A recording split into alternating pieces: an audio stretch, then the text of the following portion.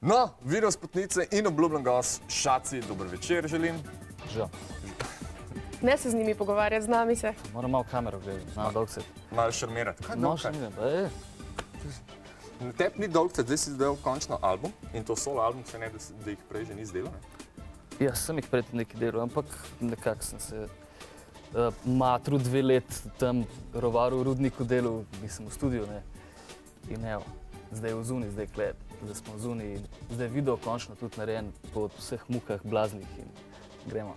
Kakšnih Kakšni, mukah? točno je. Ja, muke so te, da, da mi klele na televiziji štrene mešajo, ne, in eh, Kdo? kdo, le kdo, se dobro veste. Ne. V glavnem imeli smo probleme s cenzuro, pa to, uh, ker smo naredili iz uh, starih filmov iz Tomosa, smo naredili video, No, zdaj imel spet probleme? a zdaj imamo spet probleme. Ne vem, bomo videli. Ma dobro, to smo pol smenili na, na perčko, ja. V glavnem in smo pol mogli cenzuro dati čez, ampak eh, Kaj pomeni cenzuro? eh, Umakniti firme ali kaj drugega? ne, prelepili smo gol na, napise, pa smo dali šacije čez, tako. Šaci nas čez firme, da ne bomo rekli. Ne. Ja, no, no, tako tako. Uf, problemi. Ja. Ampak spot ne bo pri nas prvič prikazan, ne? Uh, ja, mislim, Se da že se je že nek vrtel. uh, Na vem, drugih televizijah? Na drugih televizijskih postajah, tako je. Bomo sploh kaj povedali, bomo vse cenzurirali. No, ne, Ja, ja, upam, da to, da to narobe. Je ne vem, Ja. bomo videli. Dej prelepšati ga. Um, Dajmo malo bolj uh, tako. Um, Pri albumu smo ostali. Ja, pa se ga bojimo vprašati, kako predcenzurirate.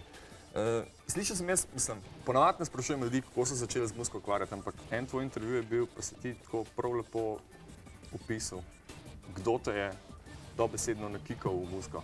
Ja, v bistvu je brat zaslužen za to, ne, da bi nekako najprej imel glasbeno stero, ne, potem, potem je pa Noder kar povabil na 16. Sem šel takoj v križanke, pred 2000 ljudi, takoj pa ta huda. Najbolj tle začeti. Ja, najboljš, valjda. No, zdaj lahko še brata pozdraviš, da bo vedel, kdo je. Pa da ne bom ga pozdravljal, se unika, hoče vedeti, ve, kdo je. nekaj. Magnifico! ja. ja. okay. uh, Znam si pa kot studijski glasbenik. Ja, a res, kaj? Ja, jaz sem tako zasledil, kar na parih albumih, eh, od Slovenije gre naprej, dobro, do Magnifikovih, do ne vem kaj Se, vse. se niti ne spomnim tega. Tudi tam sem govoril, kaj. Tudi, ja, fo- fotografiran si, napisan si, zdaj pa Fotografiran sem tudi, veš. mislim, da si. Ja, zvlečem se tam, kar se da, ne. čim več svirati. Rad imam musko in rad snemam in uživam v studiu. tako da. No, zdaj, Deva nekaj o albumu, pa video Aha, spotu, ja. da ne boste vidva domače pravljice govorila, kako sta se spoznala, pa kje je vse prisoten.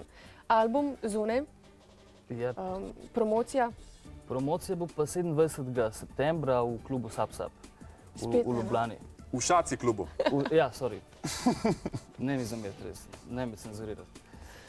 uh, video spot pa prvi, samostojni. Prvi samostojni, ja, delali so ga strupi, ne mi cenzurirati, delali, so- delali so ga strupi. Uh, Štadler ga je delal, Dražen, se je potrudil, ful, uh, tudi ovitek so mi oni delali. Uh, da, zelo so se potrudili, no, zelo sem zadovoljen s spotom in z njimi. Tako. Bomo po mojem še kakšnega naredili. Mene še ena stvar zanima. Glede na to, da si ti sodeloval na velikih albumih na toki, da se sploh ne spomniš, s kom si sodeloval, ker pa zdaj ti rabo muskontre za svoj album, a je bilo to zdaj proti usluga ali je bilo vse en kok? Ah, Nul je Ja, nekako delal sem z budžeta zero, tako da nisem glih nekaj mogel, tako da so bile usluge. Malo sem dolžen to. Ja. Torej, na današnji lestvici kot predlog, kar pomeni, da boste od danes naprej lahko za njim tudi glasovali. Od danes do jutri ima številko 472 nič nič 50 z zadnjimi ciframi, potem pa, ko osvoji eno izmed mest, dobi svojo cifro. Se boš sam napovedal. Cenzuriran? ja, ne vem, kaj pa lahko povem. Nič pravzaprav. Šaci, see you later.